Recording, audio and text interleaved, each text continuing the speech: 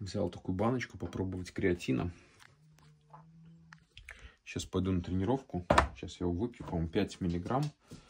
Да, 5 миллиграмм на 300 миллилитров. Вообще креатин, типа, силы добавляет, выносливости. Посмотрим, как он делает. По идее, он в мышцах вообще воду чуть-чуть задерживает, поэтому, возможно, завтра я буду еще плюс в весе, но ничего.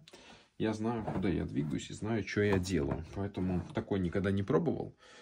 И Конгфит какой-то, не знаю. Купил в Максиме его. Просто попался у нас в Резекне вообще со спортпитом в нашем городе. Ну, огромная беда.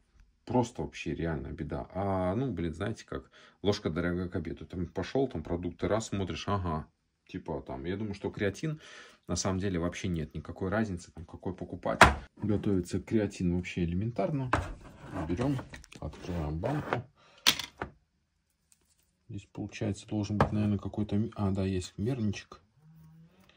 Вот такой вот мерничек. 300 миллилитров воды наливаем. Пьется он, считай, непосредственно перед тренировкой. Даже можно, если воду во время тренировки пить, и никаких проблем нету. Вот, 5 миллиграмм. Мы туда, опс, опускаем. Сейчас посмотрим, какой вкус, конечно, у него будет. Может быть, вкус. Совершенно верно, вкуса вообще никакого нет. Просто как обычная вода.